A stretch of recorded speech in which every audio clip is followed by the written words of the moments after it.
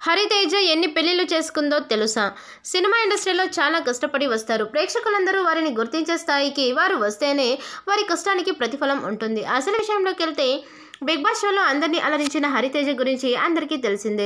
ప్రస్తుతం సినిమాల్లో కనిపిస్తూ మనందరినీ అలరిస్తున్నప్పటికీ హరితేజ వచ్చింది మాత్రం సీరియల్తోనే. హరితేజకు ఆమెకు పదిహేరేళ్ళు ఉన్నప్పుడే సీరియల్స్ చేయడం మొదలుపెట్టింది. మొదట్లో ఈమె నటించిన సీరియల్ పెద్దగా ఆదరణ పొందలేదు. అయితే ఆమె ముందుగా డైరెక్టర్తో రాసుకున్న అగ్రిమెంట్ ప్రకారం అక్కడే చేయాల్సి వచ్చింది.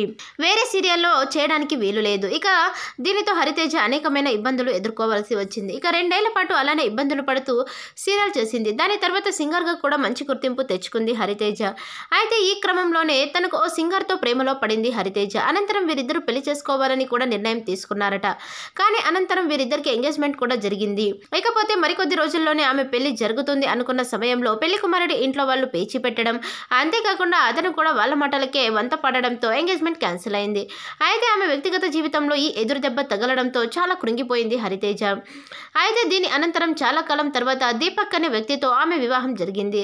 దాని తర్వాత ఆయన సపోర్టుతో మళ్ళీ ఇండస్ట్రీలోకి అడుగుపెట్టింది హరితేజ.